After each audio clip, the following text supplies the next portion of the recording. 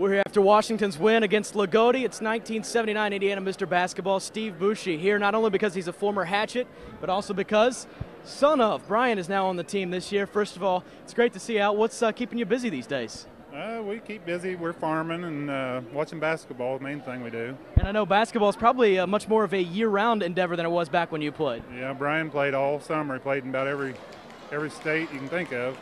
Had a great summer.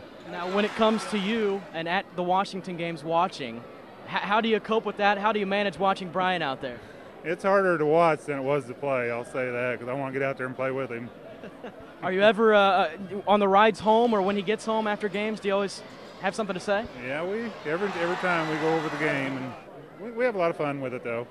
Flashback to your playing days. Um, obviously, being Mr. Basketball must have been one of the highlights, but what do you remember most? What do you take most from playing high school basketball into your life beyond that? Well, I used to have a lot of great memories. You know, we you look back from the rivalries like this with Loogootee, it was a lot of fun. You know.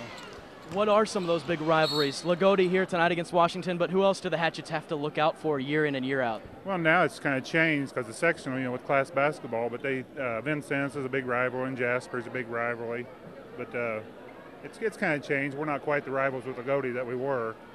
Uh, of course, we have to ask about the college days, and you went to Bloomington and, and uh-huh. national championship. That's not a, a, bad way to go through school.